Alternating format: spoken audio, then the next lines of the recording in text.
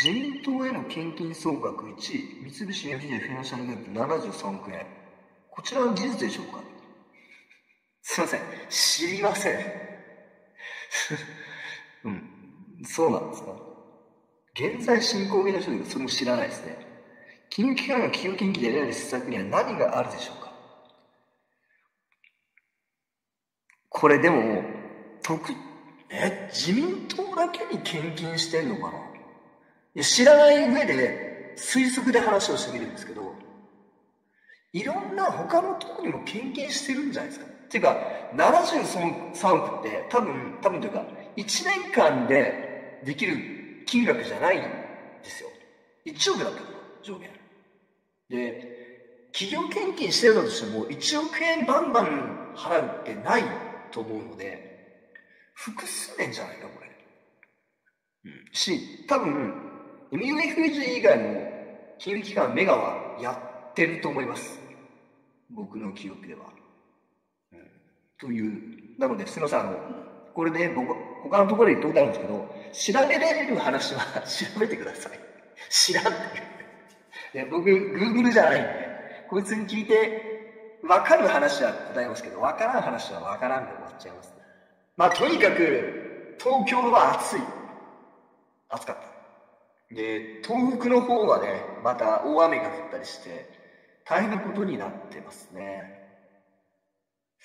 やっぱり全国どこかしらで水害って起きちゃうんだろうな、これかな。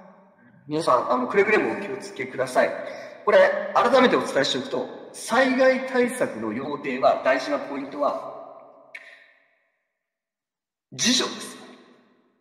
自助。自分で自分を助けるのが基本です。その先に共助。みんなで助け合って、最後が公助です。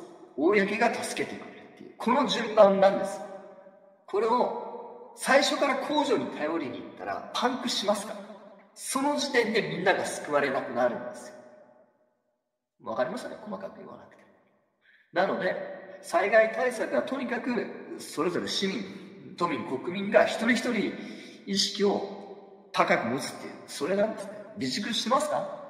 水、食料、うん、なんだろうな、トイレットペーパーとティッシュペーパーでもいいですよ。そういう身の回りのもの。1、2週間分ぐらいは常にある。あるようにしといた方がいいですよ。絶対そっちの方がいいですから。で、それでだったら家の中どっか置けるでしょ。はい。というのを、なんだっけ。あ、そう、暑い日が続くんですけど、えー、気をつけてみてください。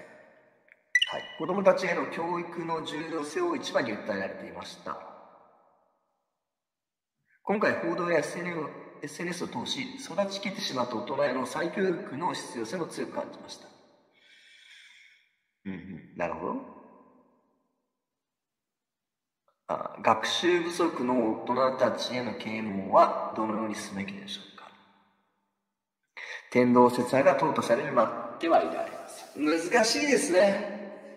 うん、やっぱり時間が解決するしかないっていうのは基本あると思います。でも、時間が解決する力が本当半端ないから、若者、特に僕より下の世代は、そこはね、常に希望を持っててほしいな。諦めないでほしいなと思います。皆さん最終的には絶対勝ちますから。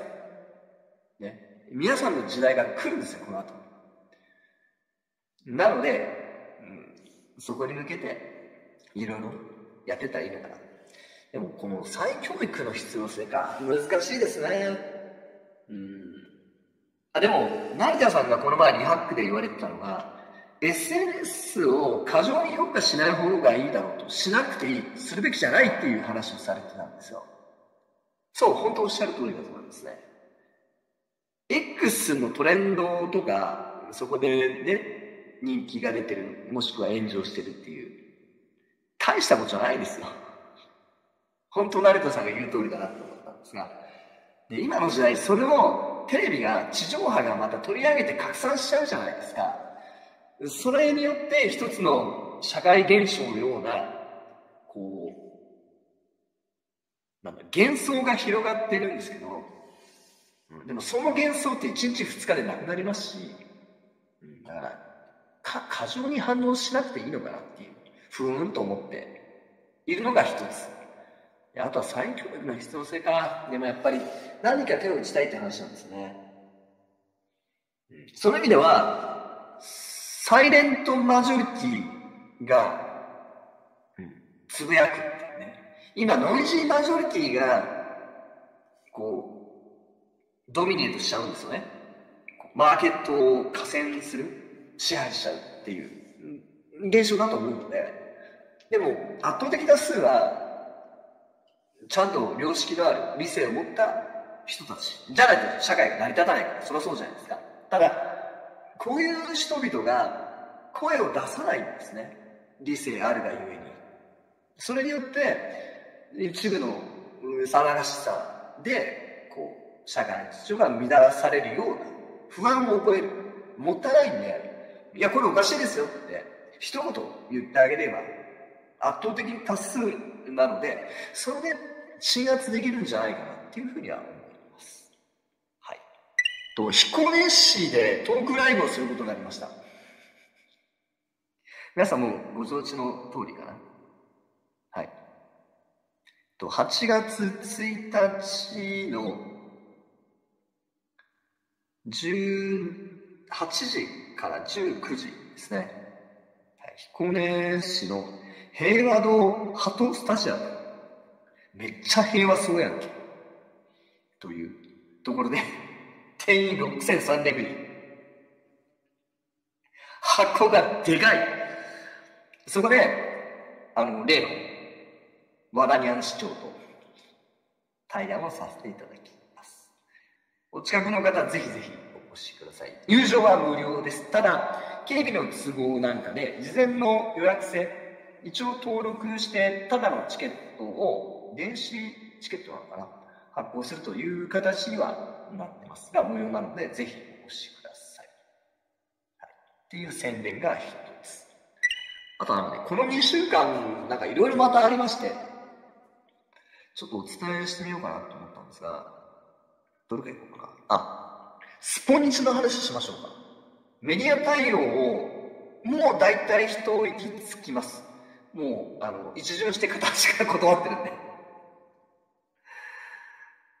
でもその最後の方であった話が、なんだっけな、スポニチャのスポーツ日本からインタビューを受けて、その後記事になりましたっていう報告があったんですね。そしたら、ある日めっちゃ電話がかかってきてて、電話取れなかったんですけど、なんか緊急のことかなと思ってメッセージ見たら、何度も電話してすいませんって言って、本日掲載したインタビュー記事で謝罪しなければいけないことがあった。連絡しました。え？何と思ったら、その中身が。女性関連の質問の中で、吉丸様が、就職してからは彼女がいたことはありますねとおっしゃったところ、文字起こしする際に彼女がいたことはありませんとしてしまい、そのまま記事に上がってしまいました。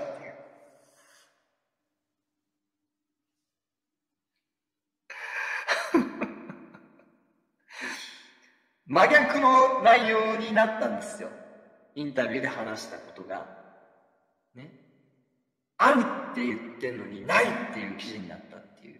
まあ、そこだけ取り上げると、すごく深刻な、これはミスなんですよね。メディアとしては。ただ、中身がマジでどうでもいい。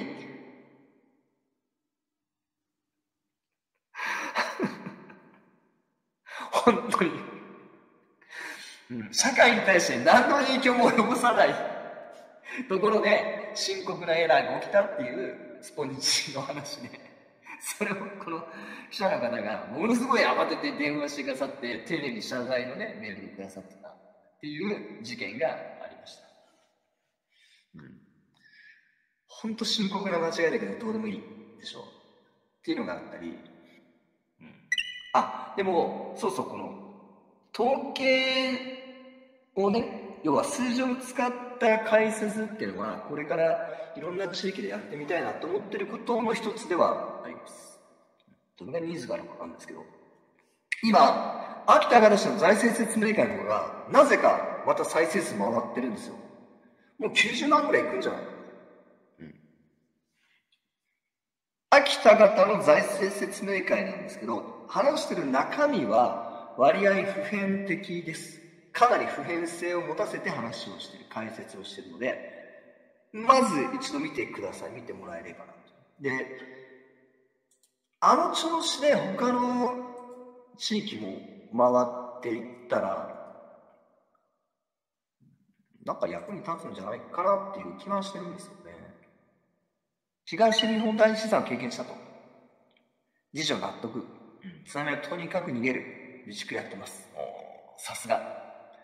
やっぱりね、経験から学ぶというか、経験しないとわからないことってあるんでしょうね。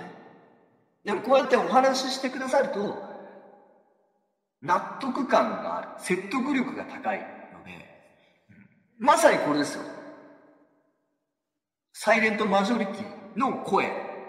その中にすごく大事な要素ってあるんですよね。その一部のなんか専門家とか学者とかの言うことも大事なんですけど、実体験としてこういうお話がやっぱりあるんで、これは皆さんしっかり耳を傾けたらいいんじゃないですか？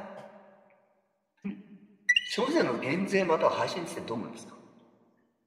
できないと思います現実問題。という話です。まあ一時的な減税とかはできるでしょうけど、廃止してどうするんですか？どうするの？はその、その分の財源、どこから調達するんですか？また国債発行で。でも消費税分の国債発行したら毎年それオンされるんですよ。ただでさえ自転車の装備なのに、一層力いっぱいこぐっていうのをできないと思いますね。価値観が変わった本はありますか？うんいろいろありますね。なんだろうな結構参考に今までなってるのは、うん、じゃあ最近の活動に紐づけて言うと、マキャベリの君主論です。あの、低音楽みたいな話ではあるんですけど、一方で、さっきのコミュニケーションの要点、営業に使えるみたいな、そんな要素も実はあるんですよ、君主論。名前は皆さんご存知ですよ、マキャベリーも、君主論。うん、ぜひ読んでみてください。あの、新書で出てるので。ちょっと硬い言葉遣いですけど、全然読めます。スッとむしろ入ってくる。はい。おすすめです。政治経済を必修科目にしましょう。おおなるほどね。高校生とかですか？でも、政治経済はやっておいた方がいいですね。本当おすすめします。ちなみに、いつだったか数年前に、センター試験の政治経済を全く勉強なし、ノー勉強で初見で解いたらどれぐらいいけるかっていうのをやってみたんですよ。そしたらね、9割はいきました。よかった。100点はいかなかったんですけど、っていうぐらい何が言いたいかというと、社会人の経験につながってるんですよ。つまり、机上の空論とか、単なるお勉強、座学にとどまらず、実社会で生きてる知識なんですね、政治経済。だから逆に、バックテストしたら、ちゃんと点になったっていう話があるので、はい、政治経済勉強してみてください。今回マスコミの選挙報道のあり方がようやく多少は議論されるようになりました。お社会的利益として大きな一歩を巻き起こしてくれて胸がするような思いです。そうか、それは良かったです。それこそ僕の本会ですね。なんかね、そうなんですよ。誰かがやらないと変わらないじゃないですか。ほっといても彼ら改めないです。間違ってると思ってないから、これまでも続けてきたし、それに付き合わされてるわけじゃないですか。誰かがおかしいと